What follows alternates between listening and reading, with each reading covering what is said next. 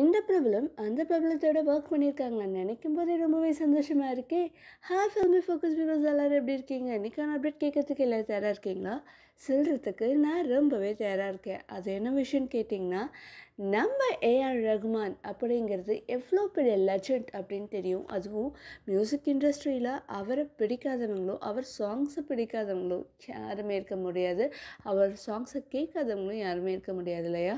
So AR ரகுமானோட ஒரு serial நடிகை வந்து இணைஞ்சிருக்காங்க. எந்த சீரியல் நடிகைன்னு கேட்டிங்கன்னா சுந்தரி அப்படின்ற ஒரு சீரியலில் கேப்ரில்லா தான் லீடாக பண்ணிக்கிட்டு இருக்காங்க இல்லையா? ஸோ அவங்க தான் இப்போது ஏஆர் ரஹ்மானோட ஒப்பில்லா தமிழ் தாயன்ற ஒரு சாங்கில் இணைஞ்சிருக்காங்க.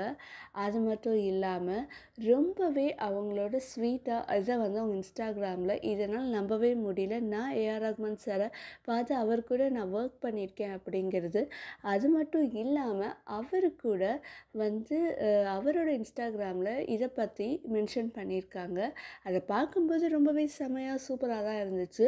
கூட நம்ம புவியர் கூட அவரும் ஃபோட்டோ எடுத்து அவரும் சேர்ந்து இதை பாடியிருக்காருன்ற மாதிரி அவரோட இன்ஸ்டாகிராமில் அதை போஸ்ட் பண்ணியிருக்காரு.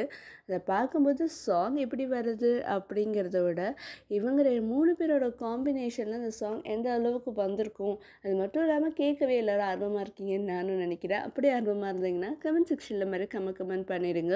இனிமேல் அப்டேட் வேணும்னு ஆசைப்பட்டீங்கன்னா like comment share and subscribe to Filmy Focus and பக்கத்தில் இருக்க பெல் ஐக்கனையும் சேர்த்து ப்ரெஸ் பண்ணுறீங்கன்னா நான் இப்போ ஒரு அப்டேட் எல்லாம் உங்களுக்கு தேடி தேடி வரும்.